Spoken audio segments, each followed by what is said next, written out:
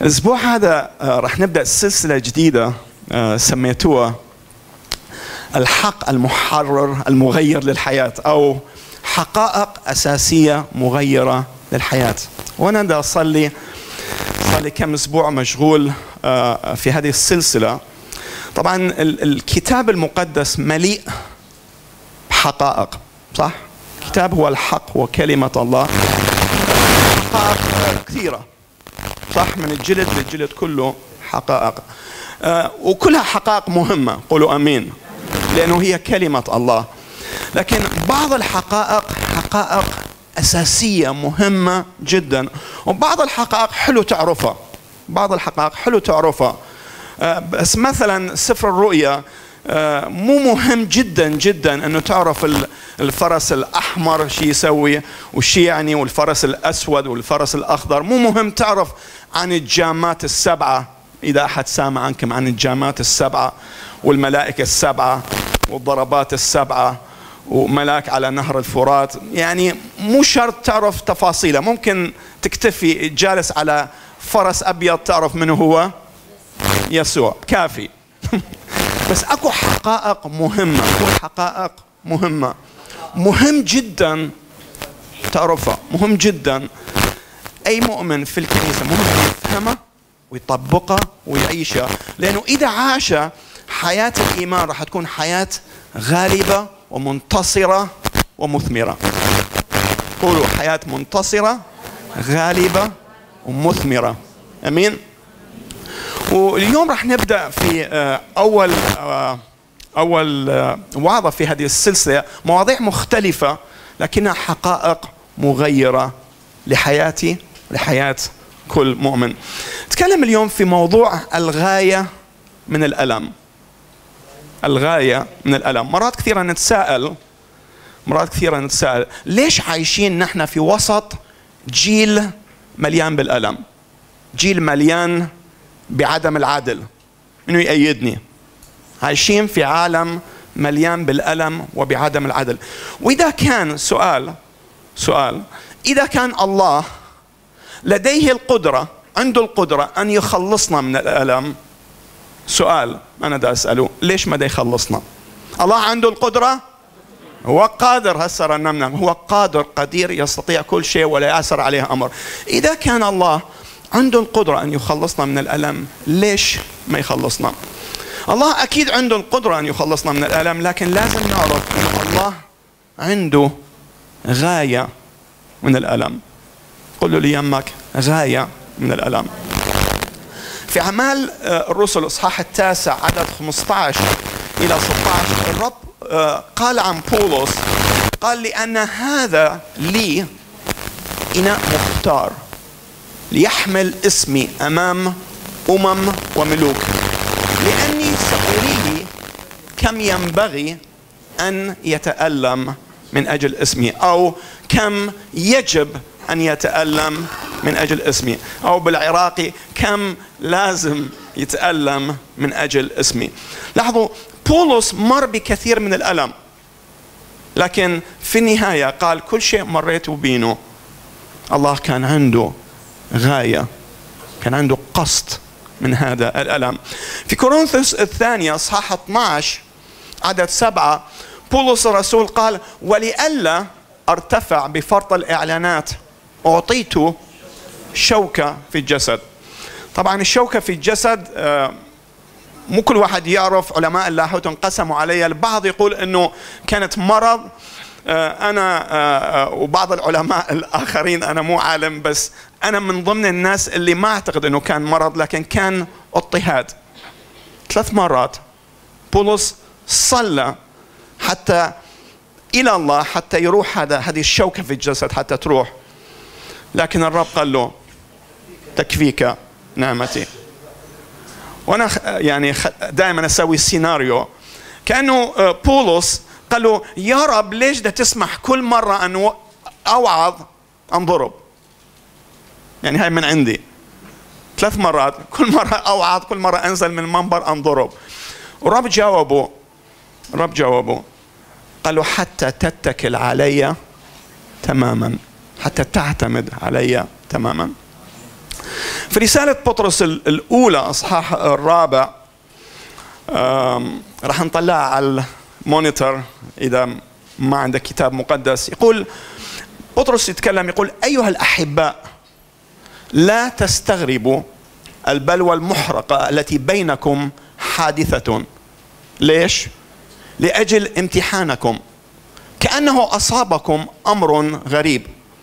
بل كما اشتركتم في آلام المسيح افرحوا. لما نشترك في آلام المسيح افرحوا. لكي تفرحوا في استعلان مجده أيضا مبتهجين.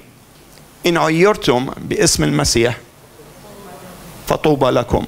نعيدها إن عيرتم باسم المسيح طوبى لكم. ليش؟ لأن روح المجد والله يحل عليكم. لأن روح المجد والله يحل عليكم. هذا المقطع آه، لمع أمام عيوني. قبل حوالي ست أشهر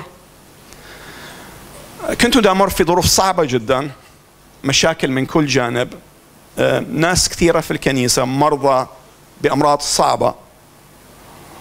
ولاحظوا بطرس يقول أيها الأحباء لا تستغربون البلوى. شنو نوع البلوى؟ المحرقة. يعني واضح أنه البلوى قوية صعبة. لا تستغربون البلوى المحرقة التي بينكم حادثة وكأنه بولس ده يقول ليش ده تستغربون؟ كأنه هذا الشيء غريب حصل لكم. أنتم ماذا تعرفون؟ أن يوم ما قبلتم الرب يسوع أنتم وقعتوا للانضمام إلى جيش. وأنتم راح تدخلون في حرب. هل توقعتوا أنه كل شيء راح يمشي سهل؟ تعرفون يمكن البعض من عندنا يستغرب لما لما يمر في ظروف صعبة لأنه الإنجيل اللي تعلمه أنه لما تيجي للرب كل شيء راح يمشي سهل. منو سامع هذا الكلام؟ تعال للرب وكل أمورك راح تصير تمام وراح تعيش حياة رائعة. لغاية ما راح تروح للسماء. كثير من أدنى سمعنا كثير هذا الكلام. ويمكن يمكن ولا واحد شرح لك عن ثمن تبعية يسوع. ولا واحد شرح لك عن ضرورة أن تكون تلميذ. ضروري تدفع الثمن. ولا واحد شرح لك أنه من يوم ما تبعت الرب يسوع أنت دخلت في حرب روحية. لاحظ قبل ما كنت تتبع يسوع ما كان أكو ضرورة للشيطان أن يحاربك صح؟ لأنه أنت كنت من جماعته. يعني قبل ما تقبل الرب يسوع ما كان أكو داعي للشيطان أن يحاربك. لكن لما أنت تبدأ تتبع يسوع عندها العدو راح يبدأ يهاجمك. تعرف لما تلعب آه، كرة قدم منو يلعب كرة قدم؟ آه، كثيرين كبار مبطلين عندهم كرش فما يقدرون يلعبون. زيد لاعب كرة قدم وأوس آه، مشجع كرة قدم. تعرف لما لما تلعب كرة قدم وانت مدافع لو انت يعني خسران فريقك خسران 4 0 أوكي؟ تخيل يا إما خسران أو أو متعادل وأنت دا تلعب دفاع في ملعبك. يعني أنت خسران 4 0 ودا تلعب ويا الدفاع. طب طب طب. فريق الخصم راح يهمه؟ غالبك 4 0 خلاص العب راح تدق هذا وأنت خسران 4 0 بس شوية تقدم للأمام. اطلع خط الوسط. راح تبدي شوية تواجه مقاومة. أطلع شوية على خط الجزاء. راح تواجه خصم عنيد. وإذا ما قدر يوقفك راح يعثرك. يحصل فاول ويوقفك. حتى ليش؟ حتى ما تجيب علينا جول. نفس الشيء في حياة الإيمان. أول ما أبدأ أتبع الرب راح يصير عندي خصم عنيد. اسمه إبليس. وكل ما بلشت أخدم الرب بحماس كل ما زادت الحرب ضدي. أوكي؟ اسمعوني زين. كل ما خدمت الرب بحماس أكثر كلما زادت الحروب ضدك.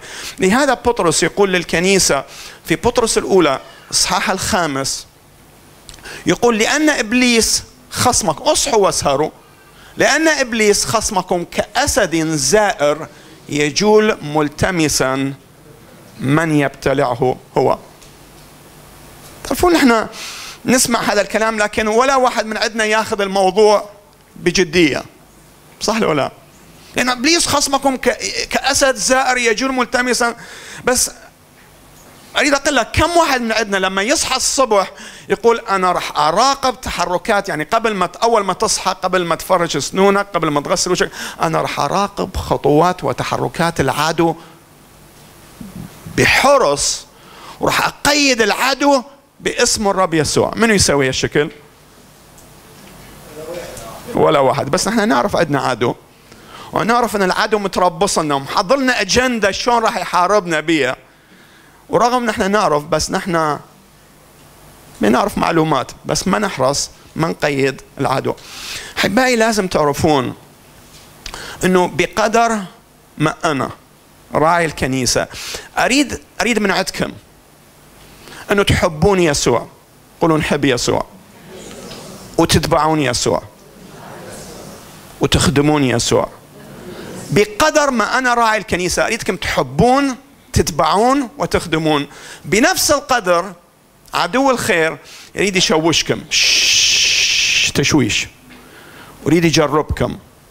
ويريد يخليكم تبتعدون عن يسوع ويملأ قلبكم بالشكوك ويخلي أسئلة في داخلكم. وين الله؟ وين الله؟ ليش دامر في هذا الشيء؟ هل الله يحبني؟ هل الله يريد إلى الخير؟ ليش أنا مبتلي بهاي البلوى؟ عدو الخير يشتغل يوميا حتى يخليك تتشوش حتى يخليك تبتعد عن الله. أحبائي نحن في حرب. قولوا لي يا نحن في حرب. مو مع كردستان شيلوا هذا الموضوع. نحن ما عندنا أعداء أرضيين. نحن في حرب روحية ولازم نكون مستعدين لها قولوا آمين. أريد تتخيلون وياي أه تخيلوا وياي جنود بالحرب. جنود. وساحة المعركة جاء عليهم رمي. وهم يعني سيدي يرمون علينا رصاص حي. شو تتخيلون القائد راح يجاوبهم؟ يعني بيرمون عليه صدق صارت صدق. راح يقول لهم إيش تتوقعون لما دخلتوا الجيش؟ حياة العسكرية راح تكون يعني سهلة. حياة العسكرية صعبة. نحن في حرب ونحن لازم ندرك هذا. لهذا بطرس يقول للمؤمنين لا تستغربون البلوى المحرقة.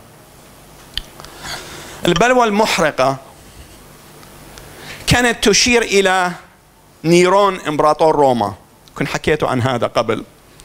نيرون إمبراطور روما كان يعلق المؤمنين على أعمدة الشوارع. كان يصب زيت عليهم ويشعلهم حتى يضوون مدينة روما. وهو يتمتع. وبطرس يقول لا تستغربون أنه هذا ده يحصل لكم. في إنجيل يوحنا صح 15 الرب يسوع قال إن كان العالم يبغضكم فاعلموا أنه قد أبغضني قبلكم. إذا كان العالم ما يحبكم عرفوا أنه ما يحبني. أبغضكم عاداكم اضطهدكم اعرفوا انه هذا صار وياي.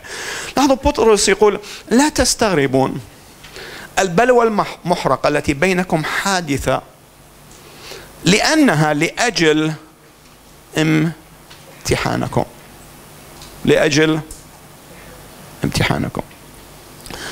كنت أفكر بالامتحان لأنه الكتاب آه، بشكل واضح في مثل الزارع يقول أنه هناك البعض راح يسقط في الامتحان.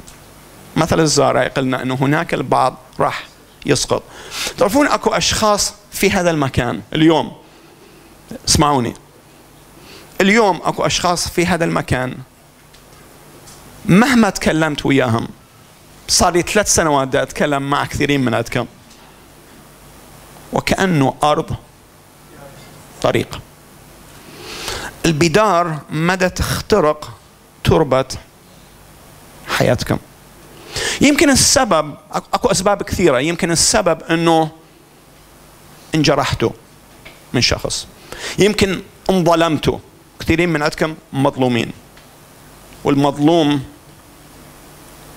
يمكن انضحك عليكم من الناس ساد ساد نفسك. تعرفون أحد الأشخاص قال لي كلام صفني. خلاني خلاني أصفن. أحد الأشخاص وأنا بدي أستخدم الجملة مالته أحد الأشخاص قال لي يبدو لي إنه في كل سنة أني أثق بناس أقل. ومرات أفكر إنه من الأفضل أن أتعامل مع الكل على إنه كذاب حتى لا أحبط. مش من هذا النوع الأرض مالته؟ يعني واضح إنه مظلوم مضطهد انضحك علينا بحيث صار ما يثق بأي شخص. أرض طريق طريق. لاحظوا في مثل الزارع مرات البذار تسقط على أرض شنو؟ أرض طريق. مرات البذار تسقط على أرض صخرية. ولأنه أكو شوية تربة تنمو. تنمو البذار في الحال. تربق شوية. لكن لأنه ليس لها أصل ليس لها جذور قوية الكتاب يقول أول ما التجارب تجي أول تجربة تجي أول أول ما الظروف تصير صعبة تموت في الحال. تموت في الحال. واليوم بعض الموجودين في القاعه من هذا النوع البعض يرنم بحماس البعض يقول كم أنت عظيم يا رب ويا كم أنت عظيم يا رب.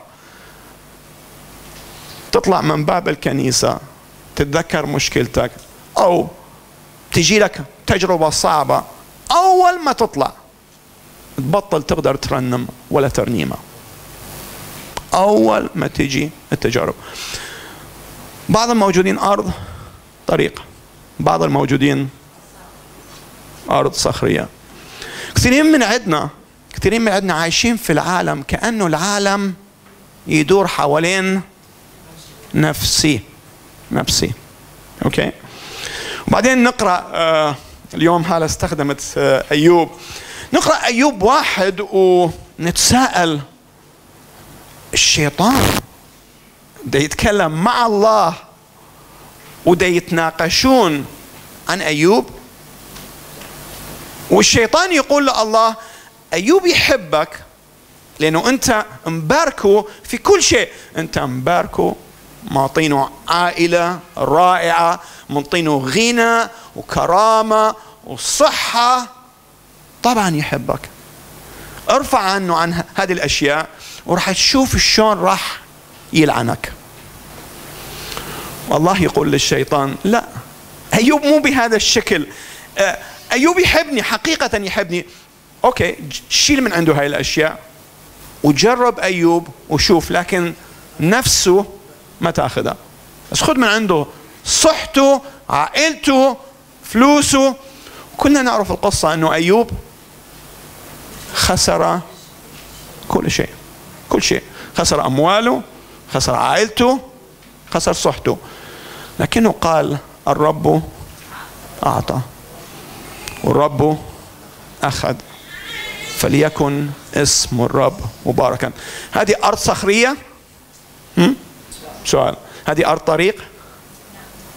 هذه أرض جيدة؟ أكيد هذه أرض جيدة. أنه رغم التجارب رغم التجارب أنا راح أظل أحب الرب اسأل نفسك هل إذا التجارب صارت أصعب عليك راح تترك الرب؟ اسأل نفسك. احكيكم آه، كنا قبل شهر في أمريكا في في مؤتمر وأحد القصص طلع حكى اختبار يعني قوي جدا. كان راجع هو آه، قسيس وكان راجع هو وزوجته من اجتماع صلاة. هم دا يرجعون بالطريق؟ السيارة بدها تمشي يمكن على سرعة 200 شخص مهووس شرب مخدرات ضربهم بسرعته. وبسبب هذا الحادث خسر زوجته. خسر رجله السيارة تفلشت ورجله تمزقت اضطروا أن يقطعوها. خسر عينه. واحدة من عيونه خسرها. عملوا له 45 عملية. قعد سنة كاملة بالمستشفى. عملية ورا عملية عملية ورا عملية. خسر زوجته عينه رجله. لكن رغم كل اللي حصل له طلع على المنبر يشهد عن صلاح الله. رغم كل اللي صار له لم يتزعزع. قال يا رب أنا راح أظل أحبك وراح أظل أكرمك مهما حصل لي. آمين. لاحظوا التجارب والامتحانات جيدة. لأن تخلينا نعرف الحقيقي من المزيف. صح ولا لا؟ في يعقوب الصح الأول عدد 12 يقول طوبى للرجل منه حافظ الآية وياي الذي يحتمل التجربة.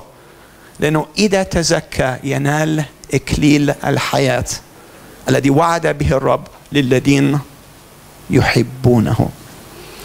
لاحظوا يعقوب ديوازي ديوازي بالشخص اللي يحتمل التجربة ويا منه الشخص اللي يحب الرب. الشخص اللي يحتمل التجربة والشخص اللي يحب الرب. يعقوب يقول هم نفس الشيء. نفس الشيء. الشيطان كان دي يقول الله أيوب طبعا يحبك أعطيته كل شيء. لكن الله قال للشيطان لا أنا راح أشوفك أنه أيوب يحبني رغم التجارب اللي راح يمر بها لهذا الله يقول طوبى للرجل الذي يحتمل التجربة لأنه راح أعطينه أكليل الحياة لأنه يحبني حقيقة لأنه يحبني لأنه بس لأنه أنا مت من أجل خطايانه. لهذا يحبني. مو يحبني لأنه أعطيتونه. أكو فرق. لا يحبني لأنه أنا مت من أجل خطايانه. لهذا هو يحبني. أحبائي اسمعوني. اسمعوني. إذا أنا أؤمن أنه الله تجسد ومات من أجلي على الصليب ودفع ثمن خطاياي فأنا أحبه مهما حصل لي من مشاكل هنا على الأرض. ليش؟ لأنه الله أعطاني أكثر مما أستحق. رح أقولها مرة إذا أنا أؤمن أنه الله تجسد ومات من أجلي على الصليب وغفر كل خطاياي دفع ثمن خطاياي فأنا أحبه مهما حصل لي من مشاكل هنا على الأرض لأنه أعطاني أكثر مما أستحق. بطرس الأولى القراءة اللي قرأناها الصحاح الرابع يقول لا تستغربون البلوى المحرقة لأجل امتحانكم بل كما اشتركتم في آلام المسيح. هاي بعد أصعب افرحوا. يعني لا تستغرب okay. امتحان وراح نعدينه okay. بس اشترك في آلام المسيح بفرح. إن عيرتم باسم المسيح فطوبى لكم لأن روح المجد والله يحل عليكم. لاحظوا بطرس ده يقول للمؤمنين لا تستغربون الألم والاضطهاد اللي ذا تواجهونه. لكن أفرحوا لما تشاركون المسيح في آلامه. افرحوا لما تشاركون المسيح في آلامه. إن عيرتم باسم المسيح فطوبى لكم لأن روح المجد والله يحل عليكم. تعرف مرات مرات لما تخدم في مكان خطر لما تخدم في مكان خطر من أجل المسيح شوف أنه السلام عجيب.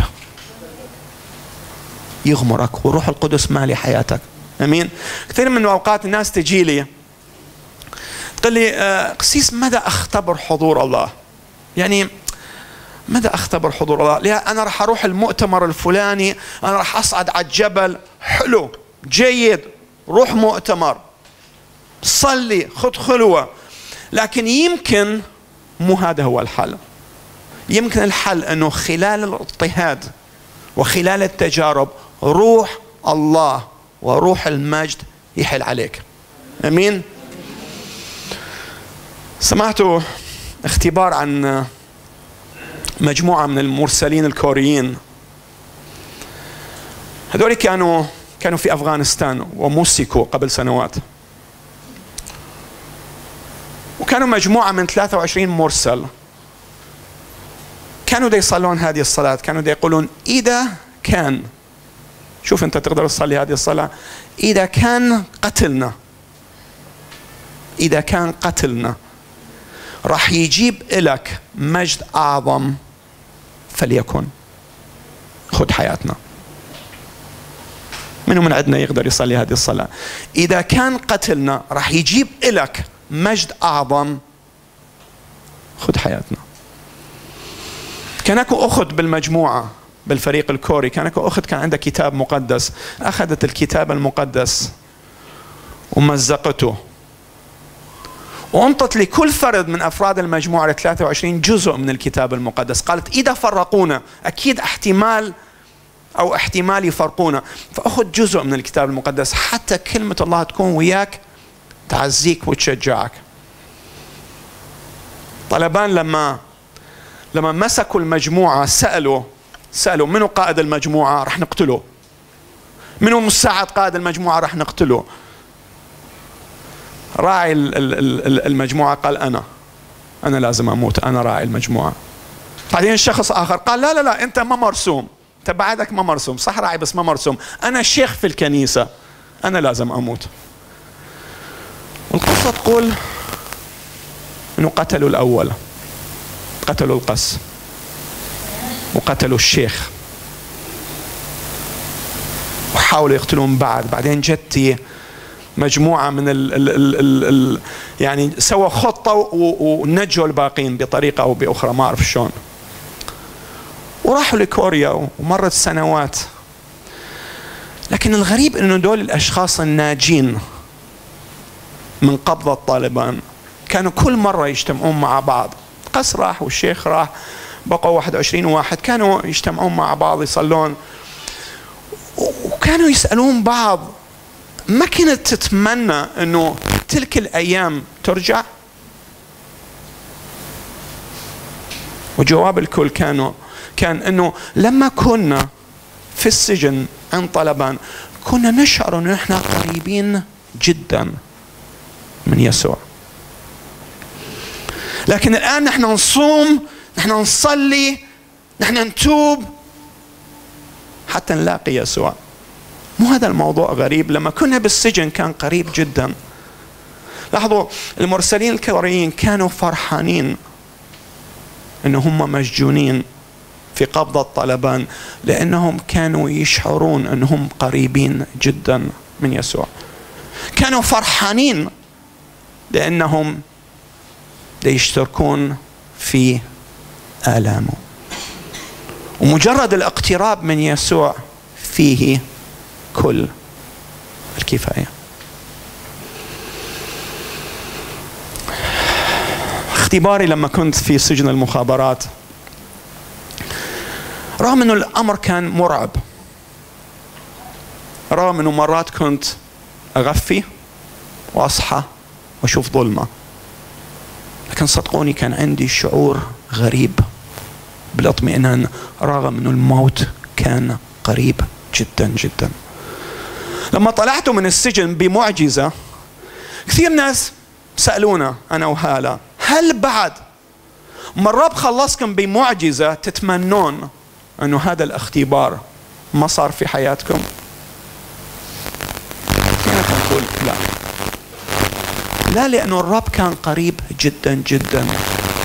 الرب كلمنا بشكل خاص جدا جدا. بحيث كل حياة الإيمان لم يكلمني الرب بهذا الوضوح. لاحظ اسطيفانوس لما كانوا يرجمونه حتى الموت اسطيفانوس رفع يديه إلى السماء وقال أنا أرى ابن الإنسان واقف عن يمين عرش الله. يقول الكتاب وكان وجهه يلمع كملاك. ليش؟ لأنه شاف يسوع. قصة شدرخ وميشخ وعبدناغو لما ألقي بهم في أتون النار نبوخذ نصر قال ألم نلقي؟ ثلاث رجال. أنا شايف أربعة والرابع شبيه بابن الآلهة. لاحظ في وسط أتون الظروف الصعبة. نحن نلمس حضور الله. لهذا يا أخوتي أنا أشجعكم اليوم أنه تطلعون تروحون وتتكلمون عن يسوع وتصنعون تلاميذ.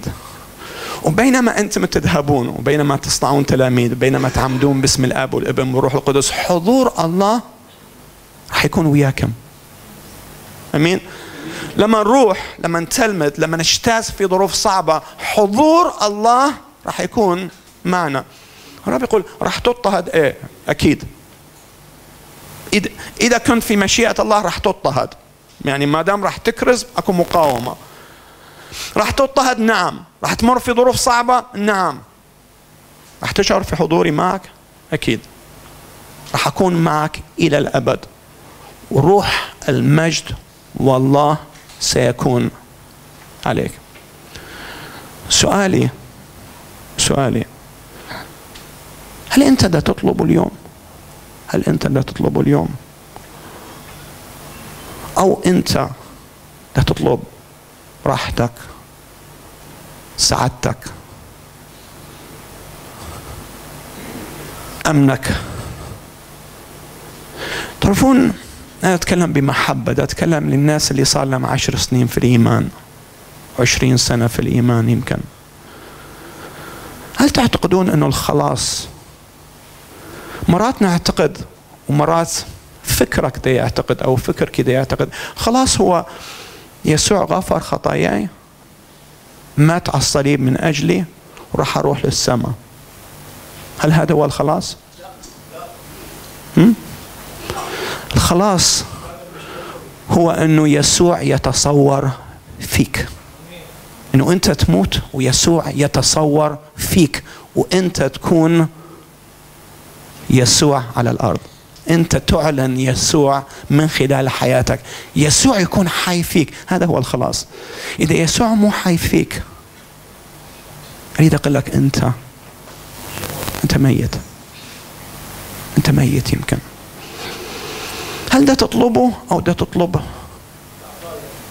عطاياه هل ده تطلبه؟ ده تطلب مشيئته أو مشيئتك. هل ده تطلبه أو ده تطلب غنى وسعاده وراحة؟ أريد أقول لك هو أفضل من كل شيء. سؤال آخر شنو الشيء اللي تطلبه هسه؟ شنو أكثر شيء أنت تفكر بينه خلال اليوم؟ هل ده تطلب يسوع البارحة أنا كنت في وقت توبة أمام الرب. مو لأنه ده أطلب شيء غلط لكن لأنه مشغول بالخدمة على حساب علاقتي معه. لكن يسوع هو الحبيب الأول. يسوع هو الحبيب الأول أكثر من زوجتي أكثر من أولادي أكثر من الخدمة. آمين.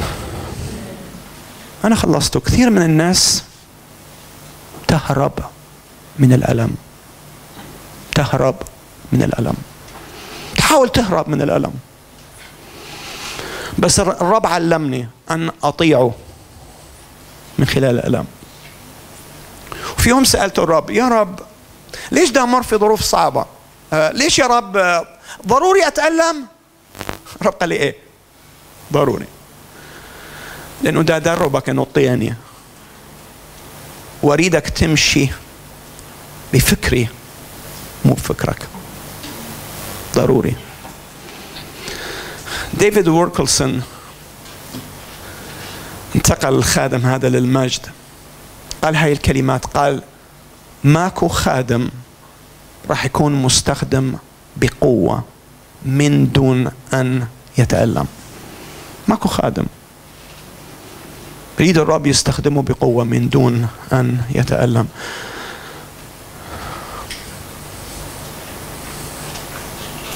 تعرفون هاي الكنيسة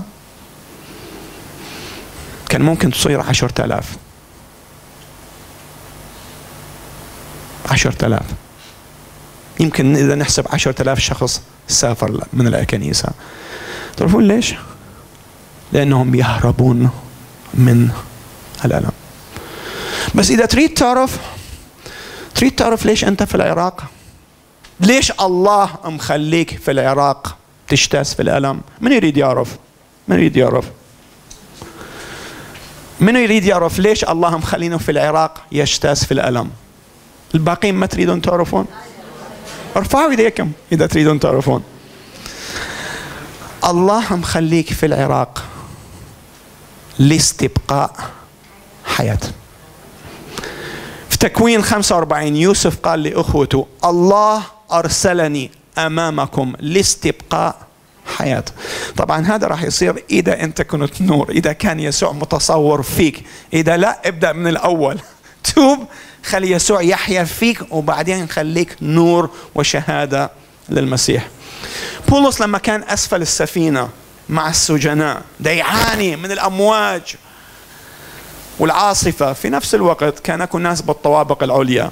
يأكلون ستيك متمتعين. ولا همم يسمعون كلمة الرب. بعدين لما العاصفة اشتدت بلشوا يرمون الأكل. بس بالأول وجوا بالعاصفة تضرب بالسجناء و...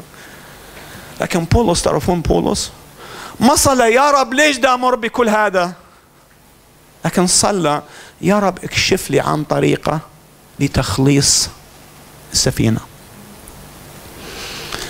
لحظة إذا أنت سمحت لله أن يقودك إذا سمحت لله أن يقودك عبر الألم الله راح يستخدم هذا الألم لمجده. أقول مرة أخرى أنا خلصته إذا أنت سمحت لله أن يقودك عبر الألم الله سيستخدم هذا الألم لمجده. أمين؟ خلينا نقف مع بعض ونصلي.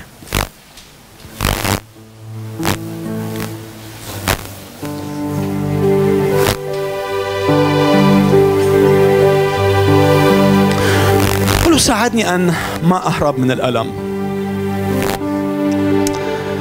إذا الرب كلمك إذا الرب كلمك وإذا ناوي تهرب أهرب. بس إذا ناوي تكون في خط مشيئة الله إذا الرب كلمك اليوم قل له ساعدني أن لا أهرب من الألم. الله بقاك في العراق لاستبقاء حياة. الله أرسلك لتبق... لاستبقاء حياة مثل يوسف.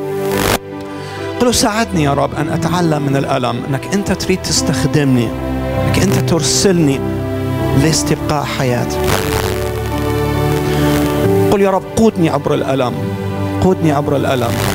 قل قودني عبر الألم. قل يا رب استخدمني يا رب. قل يا رب استخدم الألم لمجدك.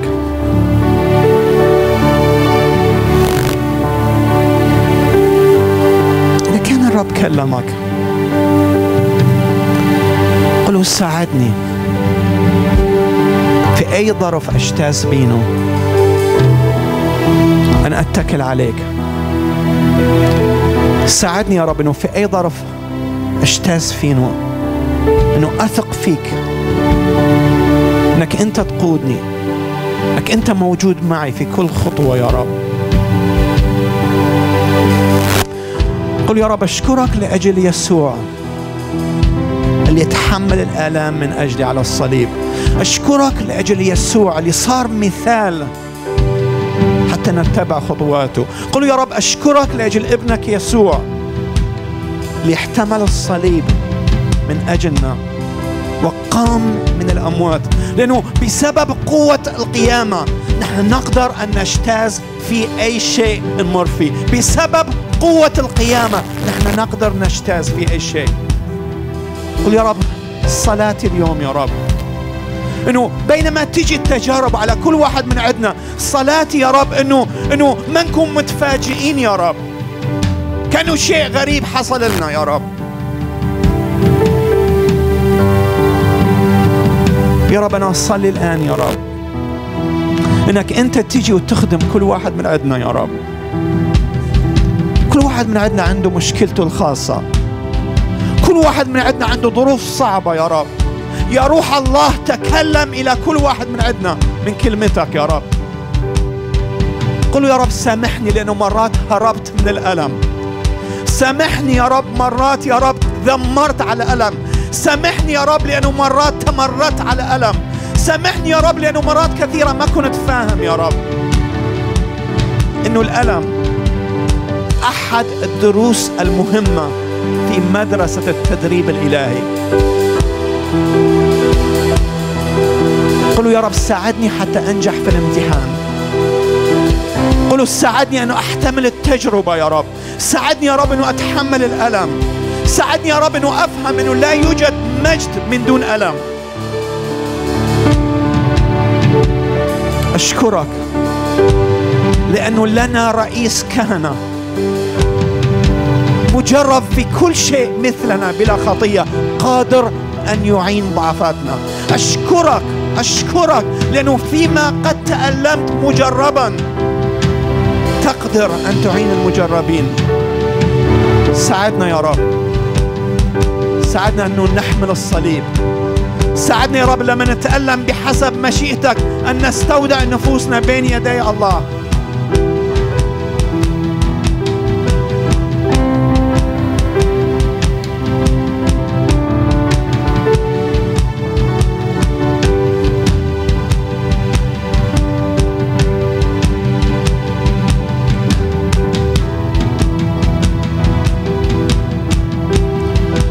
اليوم؟ اليوم يمكن أنت لحد الآن لم تقبل يسوع. خلص شخصي لحياتك. لحد اليوم ما قررت تتبع يسوع. ويمكن اليوم أنت تريد تتبعه. يمكن أنت لم تقرر لكن اليوم أنت تريد تتبعه.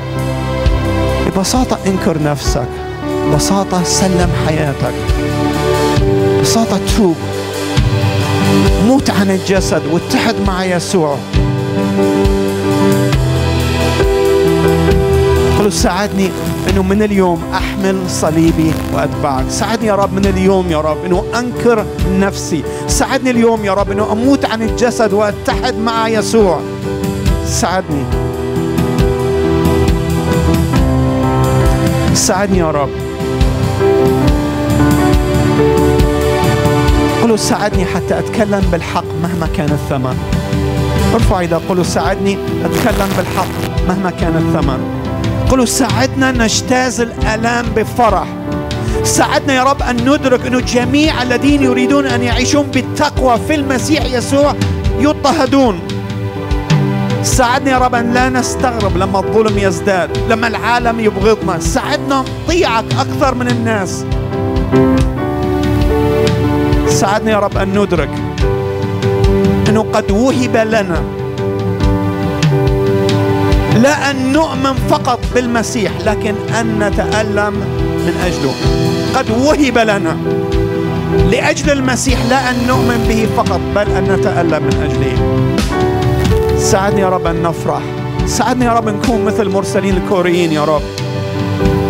ساعدنا ساعدنا أن نشترك في ألمك بفرح. ساعدنا يا رب نفرح نفرح يا رب. ساعدنا يا رب. ساعدنا يا رب. ساعدنا يا رب. أعطينا مجاهرة بالإنجيل. أعطينا الجرأة يا رب. ساعدنا نتكلم ساعدنا ما نصمت ساعدنا ما نخاف ساعدنا نطيعك يا رب. ساعدنا نكون نور في وسط عالم مظلم.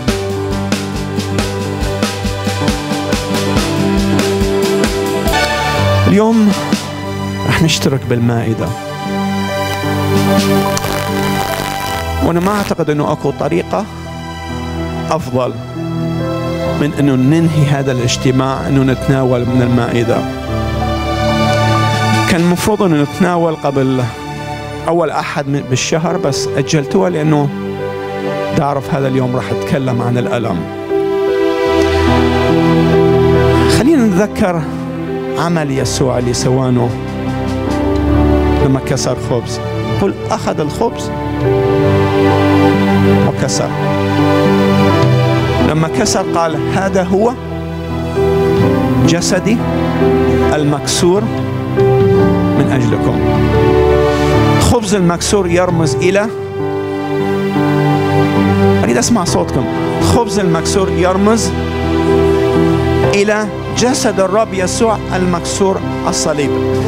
بمعنى هذا الخبز يرمز إلى آلام المسيح. والكأس يرمز إلى والدم يرمز إلى آلام المسيح. صح صح. هذا جسدي هذا دمي. وبعدين يقول خذوا كلوا اشربوا. صح صح. قلنا إنه الخبز رمز للجسد صح؟ أوكي. صح؟ وبعدين المسيح هو رأس الكنيسة. وجسده وين؟ الكنيسة. أوكي؟ يقول جسدي متألم. مكسور من أجلكم. وأنا أريدكم تشتركون بالمائدة حتى حتى أنتوا الكنيسة تتألمون معي. سؤالي اليوم لما تتناول في ناس تتناول يوميا. لما تتناول تعرف شنو معنى التناول. هل أنت مستعد تموت معه؟ مستعد تتألم معه؟ مستعد تحمل صليبك؟ ها؟ اليوم أنا أريد إذا أنت مستعد فعلا إذا أنت فعلا تؤمن أن يسوع مات من أجلك إذا فعلا تؤمن أن يسوع مات من أجلك وإذا كنت فعلا مستعد أن تتألم معه قف في مكانك. بينما المائدة تكون قدامك. يا رب أنا أصلي أنه يدك تكون ممدودة. وتبارك هذه المائدة يا رب أنا أصلي يا رب أنه تساعدنا يا رب لما نؤمن. هذا حقك يا رب. يفتح عيوننا مثل ما فتح عيون تلميذي عمواس يا رب. يا رب أنت تألمت جسدك كسر من أجلنا. وأنت تريدنا نشترك في المائدة. أنت تريدنا يا رب أنه نشترك في آلامك. يا رب أنا أصلي كل من يتناول ينال بركة. كل من يتناول يا رب. عيونه تنفتح. ويا رب يصير عنده إعلان عن هذا الحق يا رب. صل يا رب بركتك عن كل شخص موجود يا رب. صل يا رب أنه إن كان شخص يا رب ما زال ما يعرفك يا رب. صل يا رب أنه في هذا الوقت أنه يتوب ويسلم حياته إليك.